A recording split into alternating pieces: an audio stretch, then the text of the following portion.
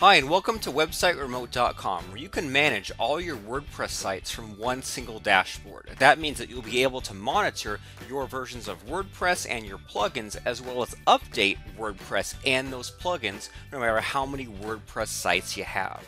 Now, in order to remotely control WordPress sites using Website Remote, it's a two-step process. You have to first tell Website Remote the URL, the web address of the WordPress site you want to remote control, and then once you tell it that URL, you will have to grab the Website Remote plugin and install it on that remote site. So let me show you. I want to remotely control the site robertplank.com. So I'm going to type in robertplank.com, click on add your first site, and once that's done, I will install the website remote plugin on that site and I will be able to control it from this dashboard.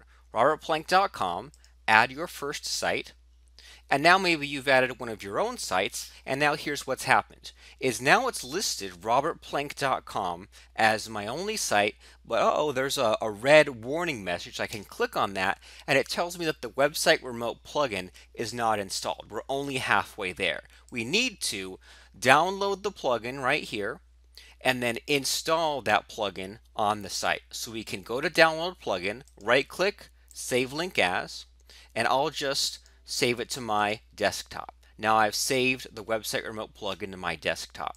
Then I can left click on install and this will open up robertplank.com and I might have to log into the site and I'll click on upload plugin and I'll choose file and then browse for the website remote plugin I just downloaded to my desktop click on open and click on install now. Now, in my case, it's going to ask me for some FTP details. With you, it might just install right away. Then I activate the plugin. And once I've activated the plugin, I can go and find Website Remote, click on Settings, and what it will tell me is that this site should now respond to commands from Website Remote. Click on Login to Website Remote now, and once this is done synchronizing, we can see now that robertplank.com is still listed, but that red icon is now gone and we have some new icons. And so let me explain a couple of things that are in front of us right now. Uh, we can see that we have the one website and that robertplank.com is running an old version of WordPress, version 4.0, and the latest version is version 4.3.1 we can see that robertplank.com has three out-of-date plugins that we can just click on whichever one we want to update, if not all of them, if not update WordPress and all of the plugins. If we ever wanted to log back in to robertplank.com and we didn't have the password handy, we can just click on the login link and this will always one-click log us back into the dashboard of this particular site. Okay, so you can always find the site you want to log into and click on login or even go to the websites sidebar and choose robertplank.com or the website you want to log into and you will always be able to log back into that site even if you don't have the username and password for that. So that's how to log back into the site. Now let's look at some of the details of these remote sites. We can click on the select link and this will show us uh, the site and the software that's running and the list of different plugins and we'll be, we can update these individually here as well. Okay, so that's how we view the, the real quick details about that site. Okay, and now we can see that we have these icons next to the site. We can see that there are WordPress updates for the site and there are plugin updates for the site. So clicking on the WordPress icon takes us to the websites area okay or takes us to the updates area and so we can go and see that there's a new a new WordPress or new plugins okay? And we can go back to here and we can see that um, there is the the plugin updates right there and we can see the plugins. And you can imagine if you had 10 different websites with 20 different plugins you can see a whole table of which versions of each plugins that you can uh, view and what you can update. So I can say in robertplank.com, I want to update just the add signature plugin. So I'll just check the box I want in robertplank.com and I'll update the add signature plugin update selected plugins and confirm and give that a second and let's see if that works or not. Well, uh-oh, looks like updating that plugin failed. Now, why is that? Well, once again, we have a helpful icon here.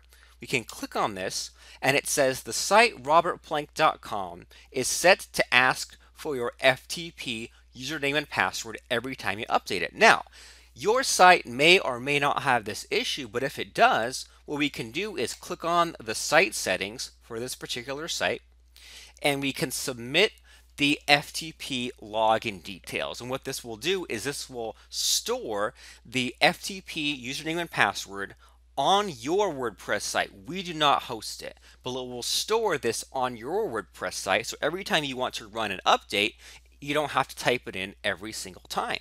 So I can say I'm going to enter in my details and I will paste in the special password and I will enter in the FTP information.